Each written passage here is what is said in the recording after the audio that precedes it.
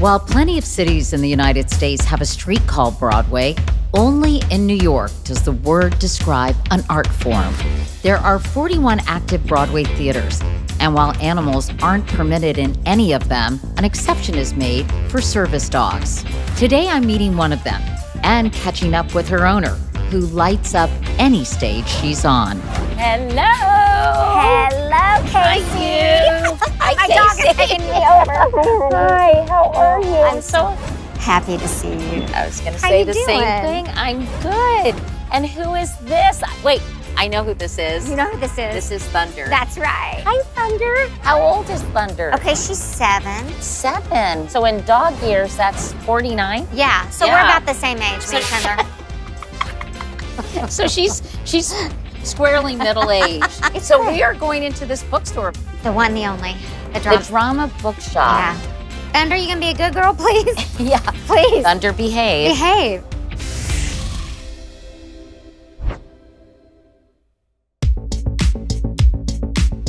Wow, this is amazing. It's beautiful. So I heard about this bookstore in college. In 93, when I moved here, this was my first stop. And thank goodness Lin bought it, Lin-Manuel, because it was gonna go under. Wow. And he bought it. And so he had a Hamilton set designer come in and do this whole thing.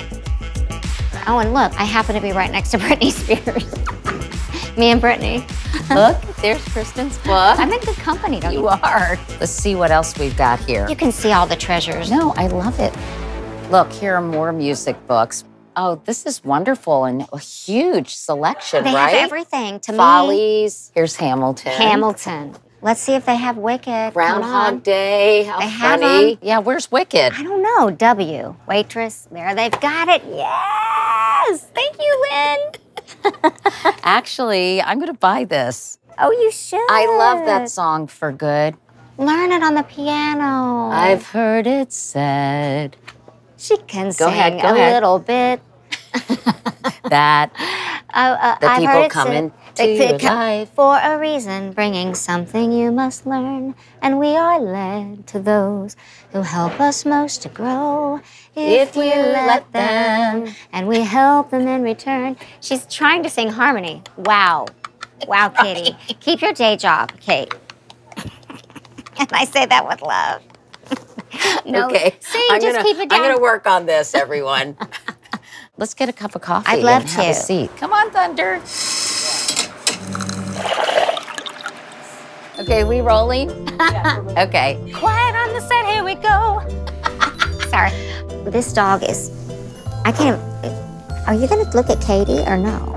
I love her so much. Thunder. Come here, Thunder.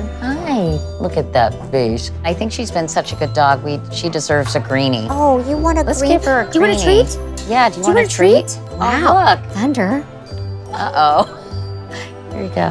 Has she never No, no, she likes a treat? it. She likes it. Okay, there you go. She just had to get adjusted. It's also very hard on the chair. Okay, there she goes. I there she scooted goes. over. All right. You enjoy that. You've been so busy. You're traveling around the country, doing a lot of concerts. Yeah. What else have you been up to? I am doing a new Broadway show that Stephen Schwartz is composing. And they came to me a couple years ago and said, We want to do this show. It's called The Queen of Versailles. And I thought, Oh, a period piece. No. It's based on a reality show, It is, right? yes, on Or a Jackie Siegel. A documentary called The Queen of Versailles. It will be ready spring of 25. That's amazing. Excited. That's so exciting. Thank you. And in between, you're writing books, including a children's book, which we just happen to have right here on the table. It's called What Will I Do with My Love Today? And it's a little blonde girl with a little dog named Hey, Thunder, wake up. We're Thunder, talking this about is your you. cue, girl. This is your cue. Thunder is a cockapoo. I was dying to know because I'm crazy and I needed to know what everything was in her. They told me cockapoo, and I did this thing called uh, Wisdom Panel. Uh huh. It's like a DNA test for dogs. And I got back, yes, cock, Cocker Spaniel, Mini Poodle. And then there's a third part. She's Norwegian Elkhound, and we don't know how she got that. Oh. But she is a hunter. oh, so interesting. she's Norwegian Elkhound, Cocker Spaniel, and Mini Poodle. I like it. She also has a really bad underbite, Oh, she does? and that's a very common in the Norwegian Elkhound. So we know that's, we don't like to show our teeth. Let me see that underbite. I see it. It's so bad. There's some janky teeth, but I still loves her. I still loves her. by the way, I wanted to mention Thunder is a service dog. Yes. Little known fact about me everyone thinks, oh, she's got it made. She doesn't have any anxiety, any issues, depression, any of that. Well, I do. And anxiety's been something I've covered up for many years. I also have a disease called Meniere's disease, and this dog will tell me when I'm going to have a vertigo attack. And we got her her service certificate. She trained, and she's, as you can see, she's really well behaved. Sit, sit.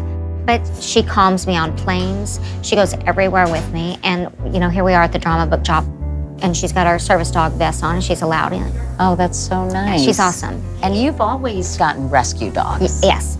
And I think the reason you love rescue dogs is very special and really the subject of this book. And that's because you consider yourself a rescue. I do. I was adopted.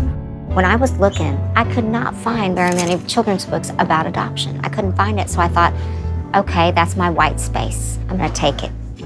And I decided to write our story. Have you heard from kids who have appreciated and parents who have read this to their kids? So many parents, Katie, come up to me with their kids and go, thank you. Now we have this, this is a book just for us. And I love it. I love it too, and I'm going to read the part. It's actually almost made me cry. That's my favorite page too. You say, When I was a baby no bigger than you, my mommy and daddy adopted me too. You see, Thunder, families don't all look the same or talk like each other or have the same name. Sometimes extra love in your heart and your home is waiting for somebody who's all alone. No matter how life has brought us together, adoption means family, and families forever. We had lots of love in our family before. With you, Thunder Pup, we can love even more. For me, it's doesn't matter who you are, what you look like, what size you are. We should all love each other. We're all the same thing. And when my parents got me, they're tall, they can't sing, they're chemical engineers, and then they got me.